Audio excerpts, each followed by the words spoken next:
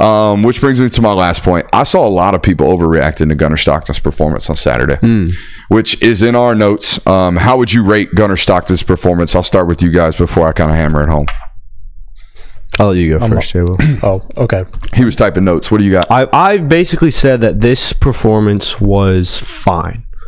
It wasn't anything to be scared about. It wasn't anything to say, hey, maybe we need to start looking at Gunner Stockton as the starter for the Georgia Bulldogs. I compared it to a bowl of spaghetti in that it's very it's it's fine. You don't leave the table wishing you had more of it. You don't say, eh, I'm never coming back and eating this again. It's hard to mess up. It was a fine performance. I don't think there's anything bad from it. I don't think there's anything good you can really like say, hey, we need we need Gunner Stockton. We need to see more of Gunner Stockton. It was a fine performance. I don't think it was worth people going, he's not good, and I don't think it was worth saying he's the absolute home run hitter. Take Heisman bets as soon as you can for 2025 Gunner Stockton. Spaghetti better the day after. Anyways, uh, Gunner Stockton's performance. I was really I wasn't analyzing any of how the offense was really called just because it was Tennessee Tech. I just kind of to watch him in the pocket, watch him make some throws. If he look if there was anything different that I noticed from how he played against FSU, how he played in this football game, I thought the ball looked good out of his hands, which it does. That's uh, something that Gunner is good at doing. The ball zipped, and I think that he delivered some balls on time, and the offense ran fine. And that's kind of how I walked away from the game. Like I didn't. uh, I'm kind of with you in the sense of I didn't overreact in saying that Gunner is QB one in 2025 or the 2026 NFL draft class. I didn't think that, and I also didn't think like, oh my gosh, Georgia better go looking for another quarterback because he just looked terrible on Saturday. So I thought Gunner looked good. Be like the Ipo, Ruben. um, I saw a lot of people overreacting to this. Of course, you. I mean, yes. Um, let's let's be fair. Though. The Georgia fan base has a tendency to overreact when it comes to the quarterback position. I just don't know how they. I I don't know what you're evaluating here. Okay, because I went and watched it, and we're gonna watch it on on Patreon, real in depth. We're gonna take it. We're gonna take the whole second half with the young guys, and we're gonna watch it for our Patreon subscribers. But I went and charted it too. Okay, he was ten of twelve in Saturday's football game.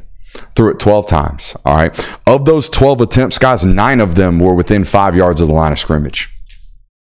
What are y'all evaluating? What are you looking at? What are you what are you judging your we need to go to the portal. This isn't good enough. This guy's not it. Oh my god, we needed something. What, what are you looking at? What are you evaluating? Cuz I saw a bunch of maybe some RPOs working in the flat, bunch of screen passes, bunch of hey, we're already up 48 points.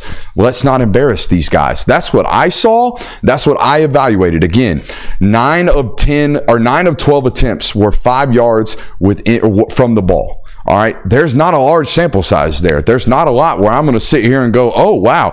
Like with Carson a couple years ago, one, the very first play I saw where I was like, oh, this guy's got it was against Oregon in that blowout, mm. third quarter. Kearis Jackson's running a deep over. He throws it right on the ball, hits him in perfect stride, and they go for an 18 yard after the catch reception. There wasn't a single opportunity for a Gunner to do that on Saturday.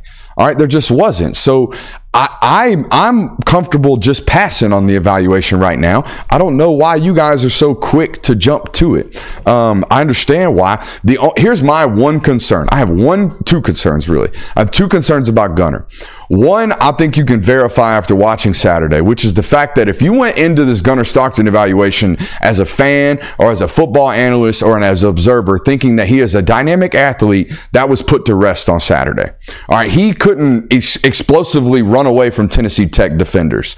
Was he a physical runner on Saturday? Yes. Am I still involving him in the run game as a quarterback? Yes. Do I think there are 65 yard quarterback draws like Stetson Bennett in these legs? No. I don't think that is the case. Okay, so I think that was proven that this isn't some dynamic leg uh, opportunity like, hey, he's going to be an explosive run nature. No, he's a quality option. I think that was proven. The other thing that I have genuine concerns about after watching, tw- I think we have 24 career attempts.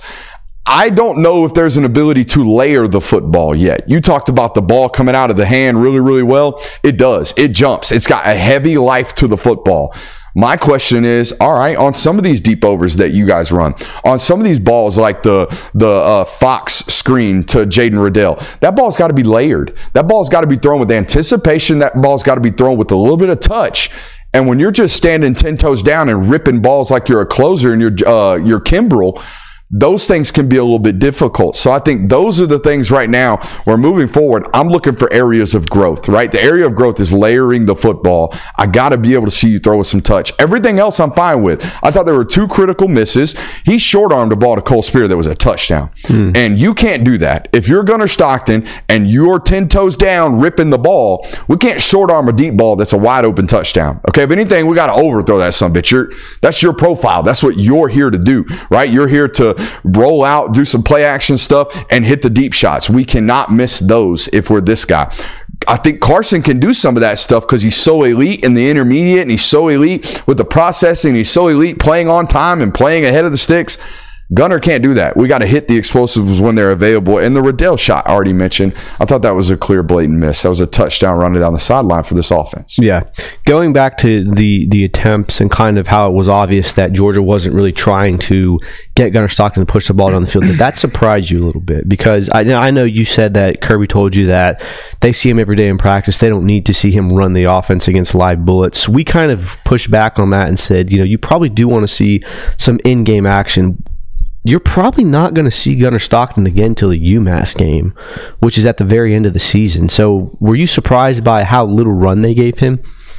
No, no. I, I mean, the two minute drill going the way it did. I think that if they score in that two minute, I think coming out of the half, it's Gunner's second half.